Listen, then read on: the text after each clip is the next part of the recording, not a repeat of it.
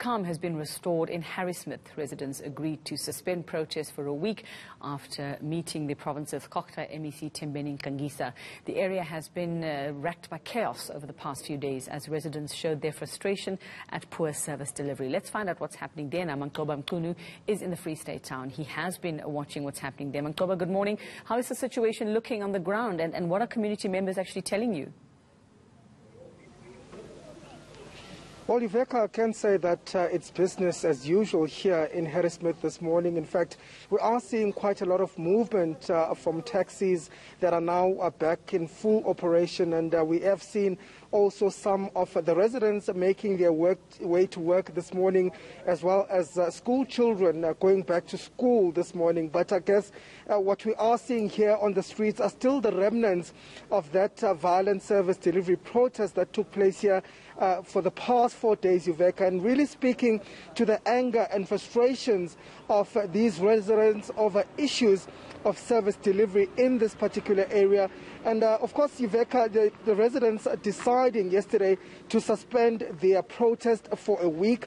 And this is uh, really to allow uh, the, the, the, the, provincial government, in this particular case, to write a letter to President Cyril Ramaphosa's office requesting him to come to this community. This was one of the demands that had been made by some of the community members who are saying that they don't want this matter to be addressed by the provincial government, but they want uh, the president himself to come to this community and to hear uh, some of the frustrations and the issues of service delivery that uh, the people of uh, have.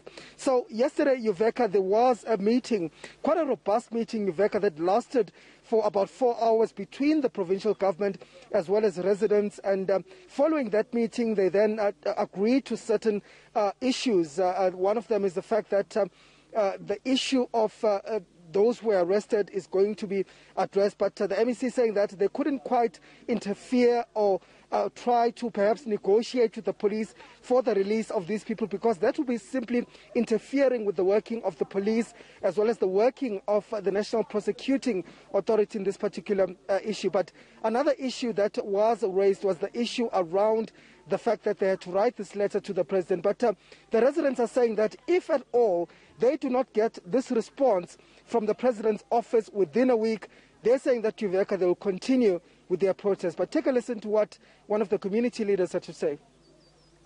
We are suspending, we are suspending our, our shutdown, not strike.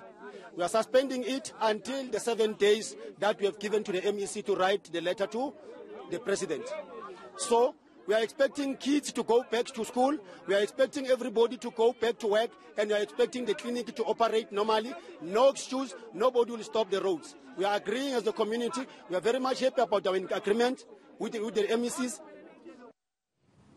Right, so Manqoba, like you say, one of their demands is that they actually want out of their municipality. So what commitment has government given, if any?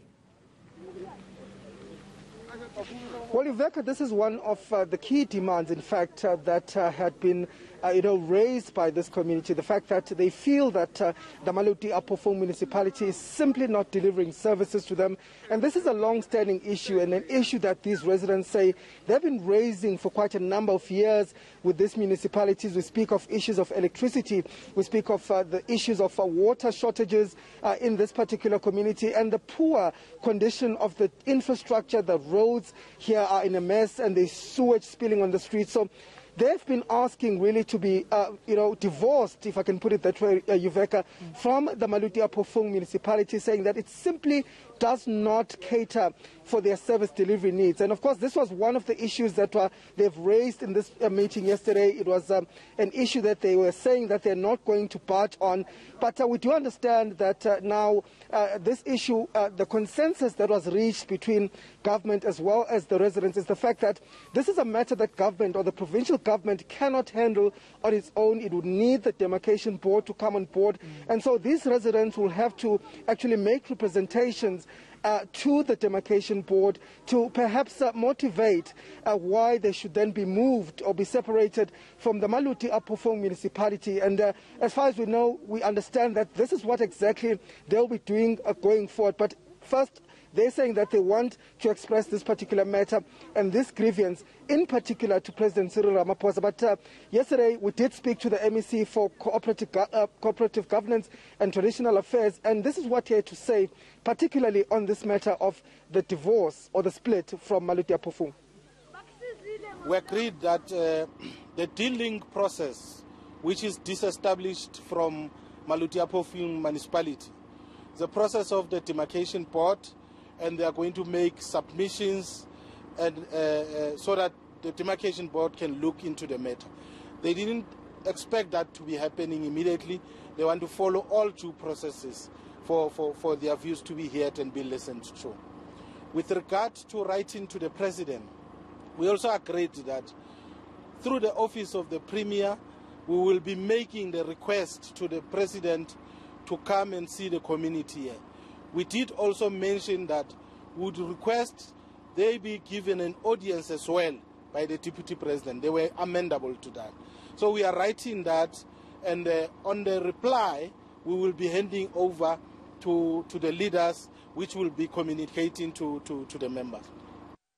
All right, so that is the situation in Harrismith in the Free State at the moment. The uh, protest suspended for now. Thanks very much, Manqoba Mchunu. He's been following that one for us all week.